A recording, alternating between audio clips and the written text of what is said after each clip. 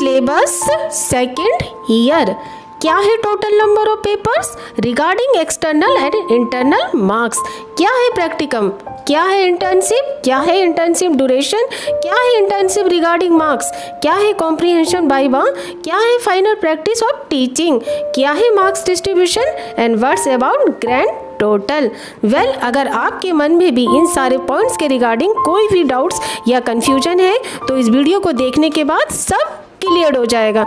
तो चलिए वीडियो पूरा देखिए। आज का कंटेंट स्टार्ट करते हैं। तो डियर स्टूडेंट्स जैसा कि आप लोग देख सकते हैं कि सेकेंड ईयर का कोर्स स्ट्रक्चर मैंने ओपन किया हुआ है। इसमें कुछ कॉलम्स ड्रॉ हैं। तो फ़र्स्ट में आपका ईयर कि कौन सी ईयर की बात करें? ईयर सेकंड है नेक्स्ट में आपका कैटेगरी है तो कैटेगरी में आपका पर्सपेक्टिव है। दैट्स में जो हमारे कंपलसरी पेपर्स है। नेक्स्ट वन आपका है कि टाइट पेपर नंबर क्या है? पेपर नंबर क्या है? उनका पर्टिकुलर सीक्वेंस क्या है? जैसा कि आप ये देख सकते हैं। नेक्स्ट वन आपका है टाइटल ऑफ़ पेपर्स की टाइट की पेपर्स के टाइटल्स क्या है? नेक्स्ट वन भी आप देख सकते हैं। यहाँ पे ये ये दोनों जो है मार्क्स की कैटेगरी है। ये आपका एक्सटर्नल है और ये आपका इंटरनल है।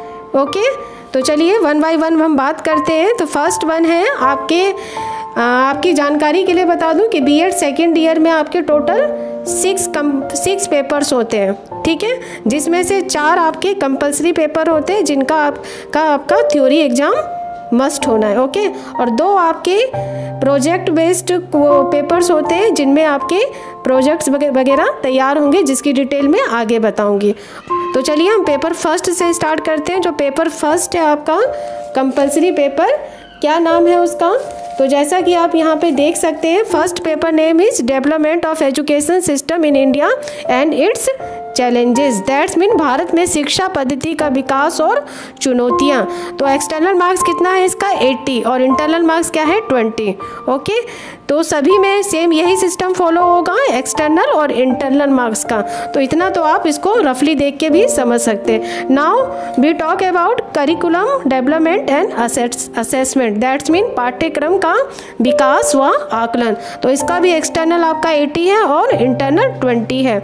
अब आ जाइए third compulsory paper educational leadership and management शैक्षिक, नेतृत्व एवं प्रबंध। तो इसमें भी सेम वही चीज़ है जो मैंने अभी बताया 80 20 का रेशो है। नेक्स्ट वन कि paper number fourth educational guidance and counselling that's mean शैक्षिक निर्देशन व परामर्श। तो वही 80 और 20 का रेशो है। यहाँ मैं एक चीज़ आपको ये बताना चाहूँगी कि देखिए बाई लुकिंग तो पेपर सभी ठीक है। दूसरी बात है, आपकी पढ़ने की क्वेरिसिटी पे निर्भर करता है और आपकी एक्टिवनेस पे निर्भर करता है कि आप कितने कॉन्सेस हैं। लेकिन इन सब चीज़ों को अगर थोड़ा साइड में रख दिया जाए तो मोस्ट स्कोरिंग जो पेपर है, आपका paper fourth most scoring paper है कि अगर आपने इसमें थोड़ा सा भी कंसर्न से काम लिया, थोड़ा भी आपने इसमें, क्या कहते हैं, अपना कॉन्सेंट्रेशन दिखाया तो इसमें आप बहुत अच्छे मार्क्स गेन कर सकते हैं। और देन आफ्टर उसके बाद आप करीब सेकेंड पेपर को हम ले सकते हैं। बाकी तो सभी पेपर स्कोरिंग है, जिसमें जितना आप कंसर्न करेंगे, उतना ज़्यादा आप मार्क्स की प्राप्ति कर सकते हैं। तो चलिए ए पॉइंट जो है वो डिस्कस हो चुका है। अब कैटेगरी के अंतर्गत पहला आपका क्या था? आपका प्रेस्पेक्टिव के बारे में था, जो आपके कंपलसरी पेपर थे, उनकी बात हुई थी। मैंने जैसा कि आपको बताया था। नेक्स्ट अब हम बात कर रहे हैं पॉइंट बी की प्रैक्टिकम वर्क की। तो मैंने आपको जैसे पहले भी बताया था कि टोटल नंबर आपके जो हैं पेपर्स हैं, वो सिक्स हैं। तो इसमें फ़र्स्ट टू फोर्थ हम डिस्कस कर चुके हैं। अब हम बात करेंगे पेपर फिफ्थ एंड सिक्स की। तो पेपर फिफ्थ है आपका जैसा कि आप यहाँ पर देख सकते हैं कि इशूज रिलेटेड विद इन्वायरमेंट पर्यावरणीय अध्ययन के मुद्दे या पर्यावरणीय मुद्दे। ठीक है?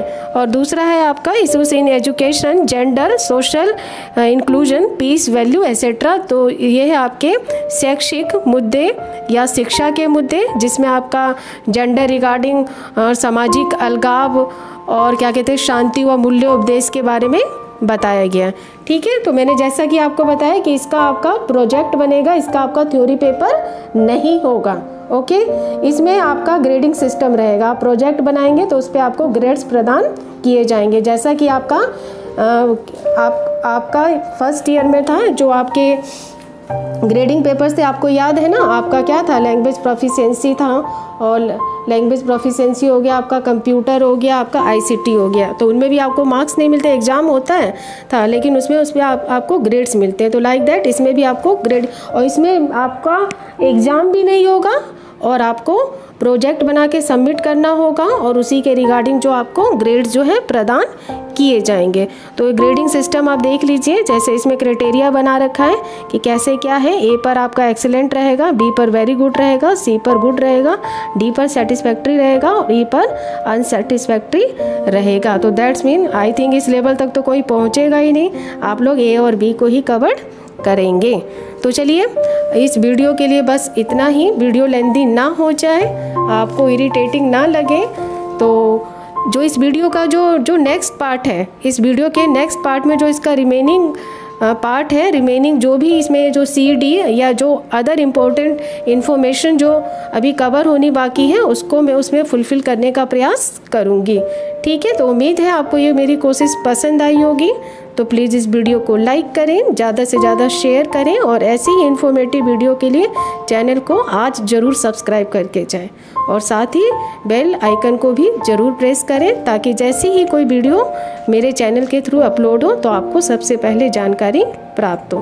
तो चलिए मिलते हैं फिर एक new interesting and informative video में। Till then okay bye